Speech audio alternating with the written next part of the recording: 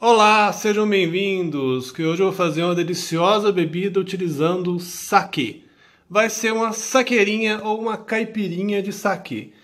Ela vai ter uma pequena diferença, que ela vai ser uma coisa meio híbrida, né? Vamos dizer que é uma saqueirinha caipira, porque eu vou colocar um pouco de cachaça também para reforçar um pouquinho o teu alcoólico.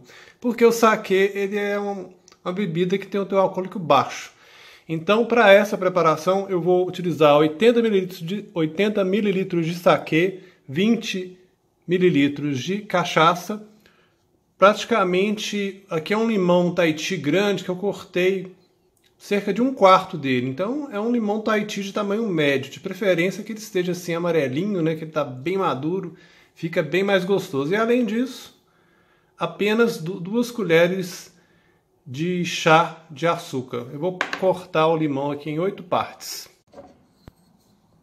Aqui agora é macerar bastante, espremer bastante, tirar todo o suco de limão e ao mesmo tempo tentar derreter o açúcar. O açúcar é super essencial nesse processo porque ele ajuda a extrair os aromas, principalmente os aromas da casca nessa maceração. Outra dica importante é tirar a tampinha, né? Que é essa parte aqui, porque aí você tira boa parte da parte branca, no meio também, que é esse miolinho aqui também, para não deixar a saqueirinha amarga.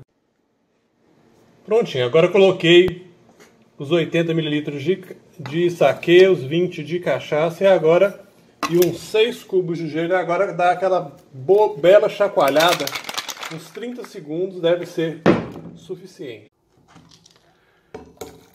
E aí, é só servir. Para variar um pouquinho, hoje eu vou usar um, esse copo aqui que é o long drink no lugar dos copos de vidro que normalmente eu costumo colocar caipirinha. Para ficar um pouco diferente, vamos dizer assim.